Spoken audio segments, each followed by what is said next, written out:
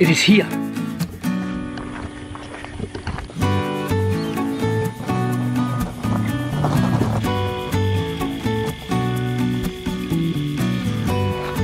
The cabinet is here.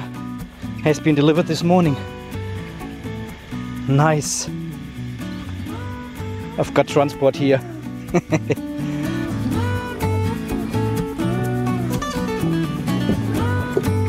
that is that is heavy.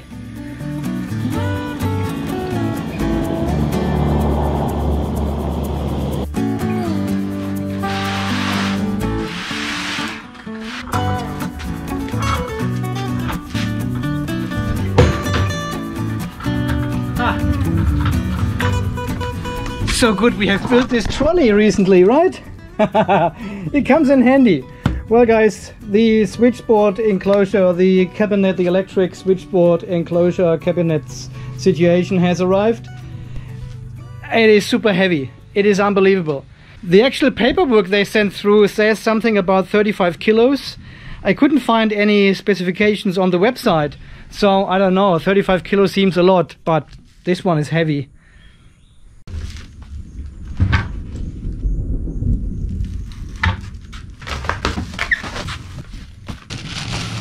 Wow.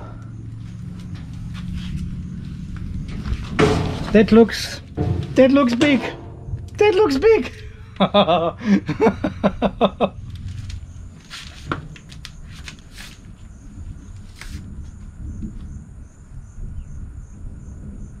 and this is all the accessories it comes with. This is the bottom plate and some mounting brackets. Has a ceiling and this is the mounting plate inside which you can take out. Well guys I'm not 100% sure how I should mount this on the wall here. This is just a thin metal wall. There's nothing behind it.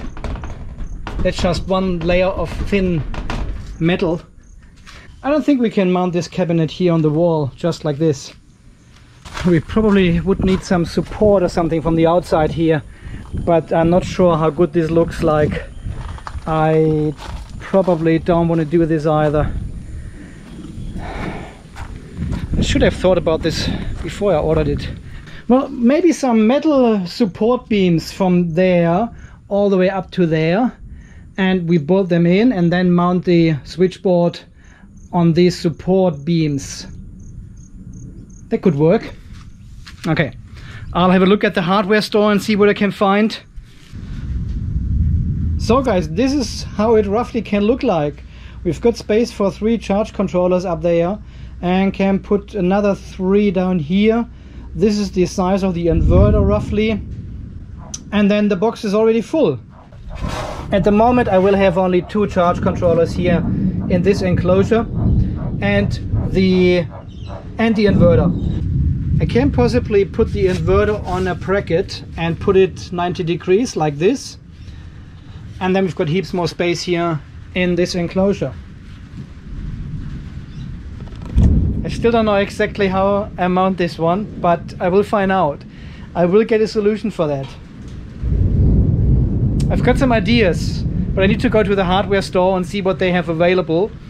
Ah, it's pretty good. It has uh, three hinges and two two locks here. So this is all dust and waterproof.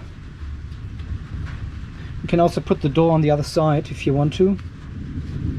This is for ground, earth contact and another, oh yeah, another one here.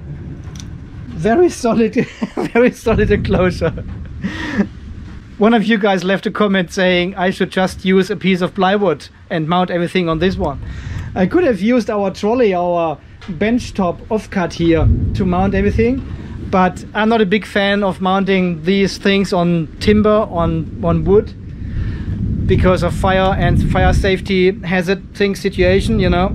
This should always be on metal and grounded and just in case one of the charge controllers starts a fire inside or something um, there's no harm to anything here. This is a very safe enclosure for my project totally in contrast to the plastic box for our batteries, right? We've got the whole energy storage here on this plastic box, but have the charge controllers in this metal enclosure.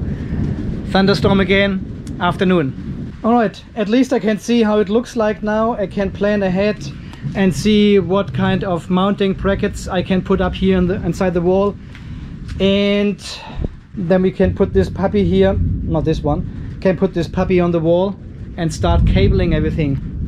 Oh, we're getting closer and closer every day.